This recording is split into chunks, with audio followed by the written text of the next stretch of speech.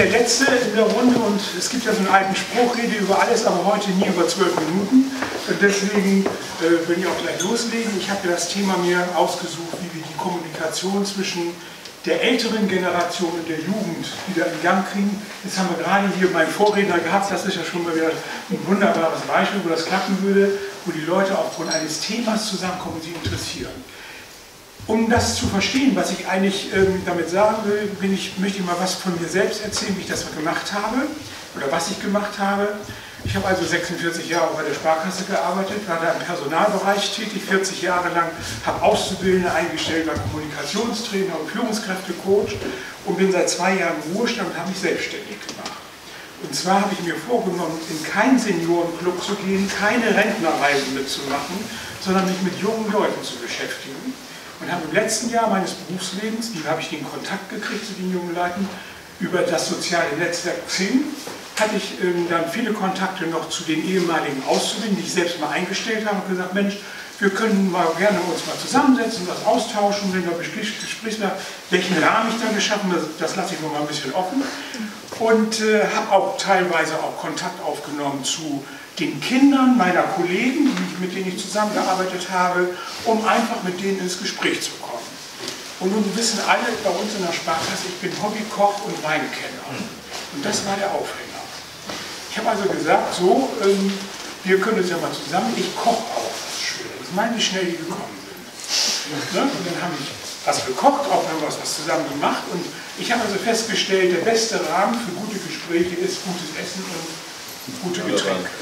Also ich habe inzwischen Bierkenner zu Weinliebhabern äh, um, umdressiert sozusagen und die Eltern bestellen jetzt auch schon Wein über mich bei den Winzer die Gespräche, die da hochkommen, das ist für mich das Entscheidende, die Themen waren immer ähm, Themen, die jetzt die jungen Leute bewegt haben. Ich finde, wir als Ältere, wenn wir die Kommunikation in Gang setzen wollen, müssen eine Vorleistung erbringen. Wir müssen auf die jungen Leute zugehen und denen ein Angebot machen, Mensch, lass uns doch einfach mal reden miteinander. Und da waren eben Leute dabei, die hatten ein Studiumfach gewechselt oder einen Studienabbruch gemacht oder suchten jetzt einen Arbeitgeber, wollten nach dem Studium sich bewerben ähm, um, um, ein, um, eine Arbeitsstelle und all diese Dinge. Und äh, ich habe dann also mit, dann mit meinen Erfahrungen, die ich im Personalbereich gemacht so eine Art Beraterfunktion dann übernommen. Aber es ging immer nur um Themen, die die jungen Leute praktisch auch interessiert haben. Und dann sind wir ganz nebenbei natürlich auch über die Kocherei und, und das Wein noch auf ganz andere Themen zu, zu sprechen gekommen. Ja, und dann habe ich mir überlegt, Mensch, wie könnte man das noch breiter auslegen und wo könnte man das beispielsweise auch in den Betrieben schon mal installieren. Ich denke mal, nehmen wir ein Beispiel Sparkasse. Das haben Sie vorhin gesagt, wie nehmen wir die älteren Mitarbeiter mit, zum Beispiel wenn neue Techniken eingeführt werden, damit die da auch keine Angst vor haben. Bei uns in der LZO haben wir Patenschaften zwischen Auszubildenden und 50 plus Leuten gebildet. Also so zwei immer zusammengebracht.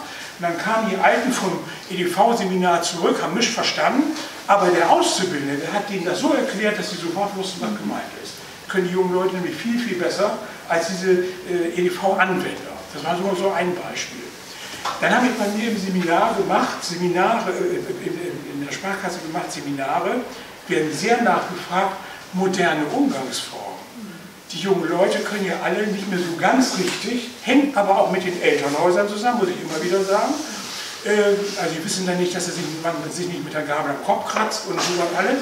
Das haben wir dann besprochen, Seminar und wunderbar, immer wieder beim, dann im Seminar da auch äh, schönes Essen gemacht und haben dann wieder über diese ganzen Sitten und Gebräuche in humorvoller Form, das ist für mich ein ganz großer Faktor, der Humor in der Kommunikation kann auch junge Leute begeistern. Es geht ja immer darum, wie können wir die jungen Leute begeistern. Also solche Beispiele in der Sparkasse und privat habe ich also alle selbst ausprobiert. Und ich habe die Erfahrung gemacht, wenn wir drei Regeln beachten, als Ältere gegenüber den jungen Leuten, den wertschätzenden Umgang auf Augenhöhe und gut zuhören können.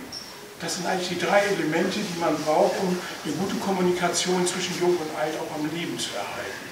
Und ich finde, die jungen Leute haben so viele interessante Themen, ähm, die, wo, mit, wo, ich lernen kann. Ich kann meine Erfahrung einbringen und ich kriege neue, neuen Input von den jungen Leuten. Und ich habe mir auch im Laufe meiner Zeit alle technischen Geräte an, angeschafft, diese iPads, iPhones und was weiß ich alles. Und dann haben mir die, die Azubis dann beigebracht, wie ich in WhatsApp reinkomme und wie ich dann irgendwo rumtwittern kann.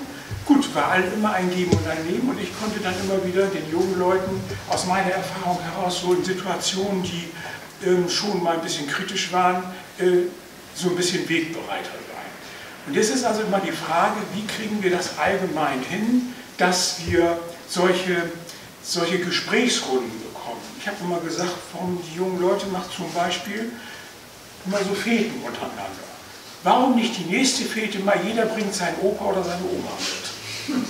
Und mal sehen, was dann passiert für die Kommunikation. Man muss das natürlich dann ein bisschen aufbereiten, wieder mit ein bisschen entsprechendem Rahmen. Nicht nur die, die, die Rapper Platten auflegen, sondern vielleicht auch mal so ein 60er-Jahre-Schlager oder sowas, um dann irgendwie so eine gute Stimmung zu erzeugen. Und wir reden einfach mal miteinander. Wir haben zum Beispiel auch bei uns in der Sparkasse einen sogenannten Perspektivwechsel gemacht. Da sind also junge Leute zwei Wochen lang in eine Senioreneinrichtung gegangen, haben da mitgearbeitet und haben, und eine Gruppe hat das das fand ich das allertollste Projekt, die haben die alten Leute interviewt. Und die haben dann noch den Zweiten Weltkrieg mitgemacht und haben ihre alten Geschichten erzählt. Sie glauben gar nicht, wie gerne junge Leute heute noch Geschichten hören. Also wenn einer das toll auch erzählen kann, was so früher alles passiert ist. Und das haben die zusammengestellt und ein Buch daraus gemacht und den Alten das dann wieder geschenkt zu Weihnachten. Das war ein, das wurde auch vom Vorstand äh, alles abgenommen und das wurde auch äh, äh, dann so ein bisschen prämiert und all diese Dinge, die dazugehören. Und das hat mich also doch sehr beeindruckt, wie also da auf diese Schiene auch wieder mal Einblicke in die andere Welt gemacht werden, wo also auch dann viele sehr nachdenklich geworden sind und gesagt, mein Gott nochmal, und wir entwickeln uns ja nun mal in diese, in diese Richtung, dass wir also immer mehr ältere Leute haben und die dann auch auf die Hilfe der Jüngeren angewiesen sind. Und ich glaube auch, dass diese ganze Schiene, wenn wir jetzt junge Leute für Berufe begeistern wollen, zum Beispiel, auch viel mehr auf der Ebene stattfinden müssen, dass die Leute, die äh, praktisch diesen Beruf schon ausüben, mal richtig praxisnah in der Schule zum Beispiel erzählen. Dass man also auch mal in der Schule ähm, die Betriebe reinschickt. Das machen wir bei uns mit unserer EHK zurzeit. Die nennen sich dann Ausbildungsbotschafter ähm, oder, oder Berufsbotschafter, dass also Leute, ältere und auch jüngere, in die Schulen gehen und schon mal von dem Beruf erzählen und ganz schön praxisnah und praxis interessieren und auch so wieder Gespräche entstehen, die zum Beispiel die Berufswahl für die jungen Leute erleichtern. Also es gibt so viele verschiedene Plattformen, in denen man das eigentlich machen kann. Und ich finde, äh, wir können uns ja gleich nochmal im Anschluss beim nächsten Mal über neue Ideen, die mich auch interessieren würden, und auch äh, Erfahrungen, die Sie selbst gemacht haben, ähm, interessieren, wie, wie, was wir da noch tun können, um diese Kommunikation einfach in Gang zu setzen. Und ähm, ich ganz persönlich kann so sagen, es muss authentisch sein. Also sich einfach nur vorzunehmen, ja, ich muss ja jetzt mit jungen Leuten reden, habe ich ja einen Auftrag gekriegt, das bringt überhaupt nichts. Sondern wenn wir das machen wollen, dann müssen die Älteren und natürlich auch die Jüngeren die, die echte Leidenschaft und Bereitschaft mitbringen, um das zu machen. Insofern, ja, würde ich jetzt einfach mal sagen, ich glaube, ich habe da noch drei Minuten, aber ich kann das jetzt auch mal umkehren an der Stelle und mal mit Ihnen ins Gespräch kommen. Wer hat denn schon mal von jungen Leuten, ich möchte hier mal direkt ansprechen, habt ihr, denn, habt ihr schon mal mit alten Leuten geredet? Bestimmt. Ja, mit wem? Bei Opa, Oma, ne? Also es, es ja, was, was, was sind denn da so die Themen? Das ist schwierig. Meistens geht es dann, also es wird halt darüber geredet, äh, was man so macht, also was man in der Schule macht, was man sonstiges, was man so vorhat. Aber es ist nicht explizit jetzt, ob man, ob man äh, Beruf mal ausführen möchte oder sonstiges, was man erreichen möchte. Mhm. Was würde, ich sag mal einfach du, was würde denn, was, was wäre denn so ein Thema, was dich so mal so interessieren würde? Was, was, wo du meinst vom Älteren nochmal ja, eine Anregung bekommen, wie gar nicht sagen Ratschlag? Ja, das ist ein schwieriges Thema, weil also meine älteren Leute sind jetzt nicht so früh auf Reisen gewesen. Ich wusste gar nicht, wie das früher war, wenn man Reisen gemacht hat, was man erlebt hat und so weiter. So Erfahrungen halt, die man gesammelt hat. Okay, sehr, sehr schönes Thema, muss ich auch sagen, das ist einfach gut. Gibt es noch weitere Erfahrungen von jungen Leuten oder was, was noch äh, so an interessanten Themen äh, sich eignen würde, um mit den anderen die Generation zusammenzubringen. Also alles, was ein bisschen so digital wird, also meine Großeltern, die sind beide fast 100 geworden und denen dann halt tatsächlich mal zu zeigen, dass man jetzt auch über so ein iPad irgendwie mal so telefonieren kann, das ist natürlich halt eine wirklich beeindruckende, beeindruckende Geschichte. Aber ich glaube, viel interessanter ist natürlich, dass man halt auch diese Notwendigkeit dieser alten Menschen natürlich halt auch weckt für sich, ähm, also diese Digitalisierung und an diesen Themen halt teilzunehmen, dass sich halt Kommunikation ja auch verändert.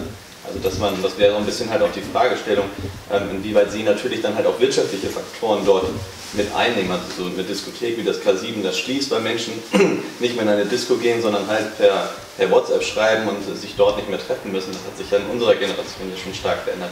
Aber nehmen Sie das dann irgendwie auch mit auf oder ist das vielleicht auch ein Gedankengang von Ihnen, das natürlich dann halt auch Unternehmen und auf wirtschaftliche Faktoren zu beziehen? Veränderungsbereitschaft in so einem Unternehmen? Genau, ja, okay. Ja, gibt es Fragen noch von Ihrer Seite? Also wenn wir das so aufziehen, dann wird jetzt die Vortrag aber beenden und am nächsten Runde anfangen. Also erstmal vielen Dank für den Vortrag.